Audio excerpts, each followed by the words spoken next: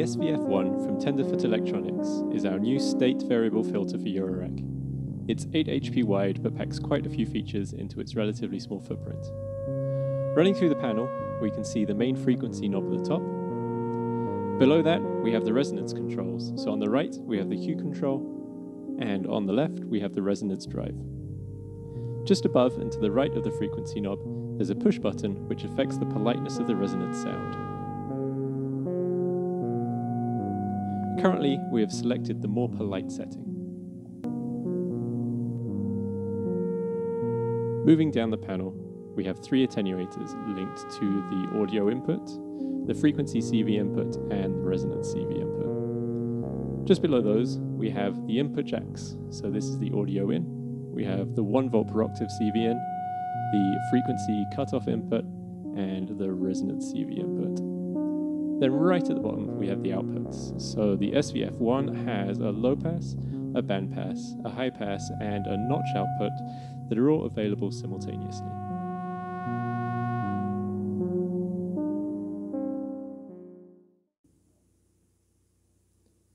Just so you get a sense for the sound of the filter, I'll initially adjust the cutoff manually and show you how it sounds with different settings. So this is with no resonance at all.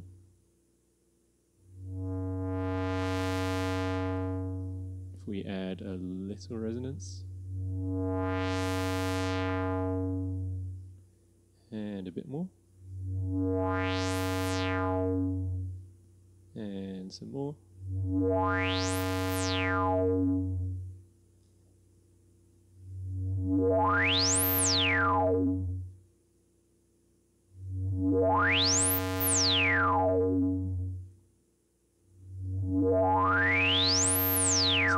Full resonance without the drive on the more polite mode. Now, if we add a little drive,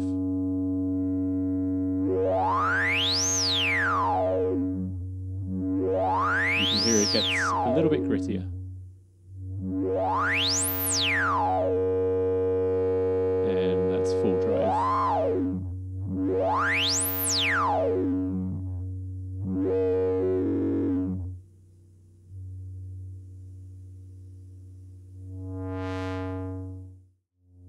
Now, with just a little bit of resonance, I'm going to do a few filter sweeps through all of the outputs.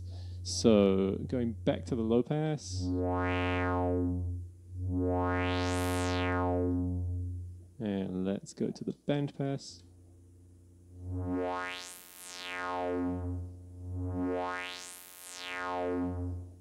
And the high pass.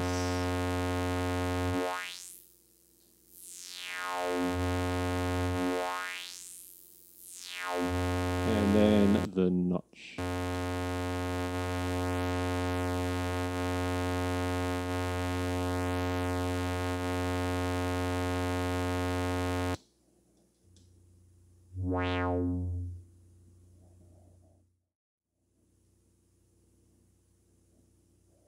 The politeness level relates to the part of the circuit that deals with resonance. So with the resonance off, or with very low Q and resonance drive levels, you won't hear any difference between the two modes.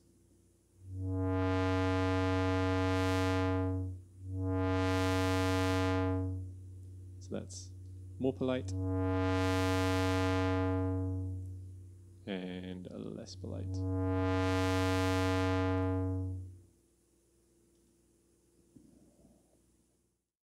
Now, the less polite mode allows the resonance to be driven further than before and it will start to clip. You'll notice it a lot more with lower frequency audio inputs.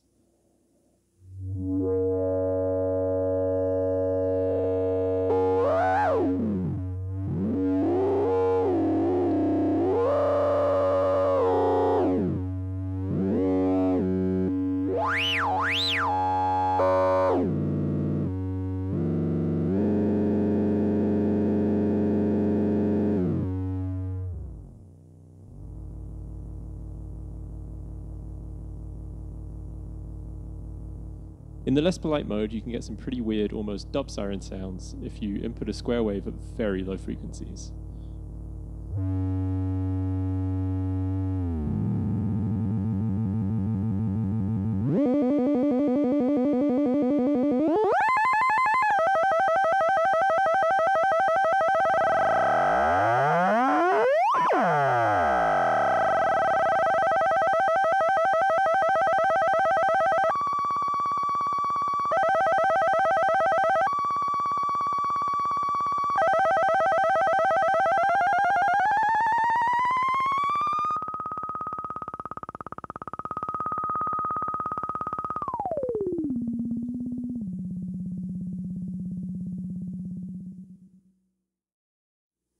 The SVF1 can also track 1 volt per octave.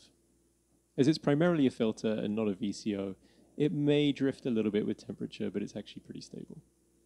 Now, if we turn the Q up to about three quarters of the way, you'll hear it starts to self-oscillate.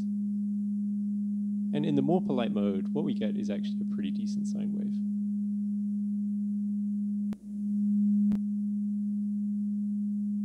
Now, if we plug a little sequence in from the quad quantizer, you'll hear it tracking.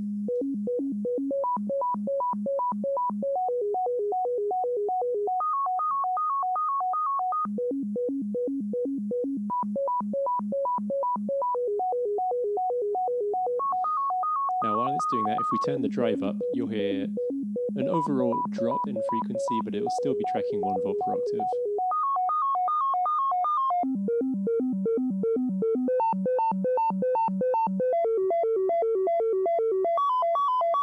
So now it's no longer a pure sine wave, but we've got a, a bit more of an interesting tone. We can dirty it up even more by going into the less polite mode.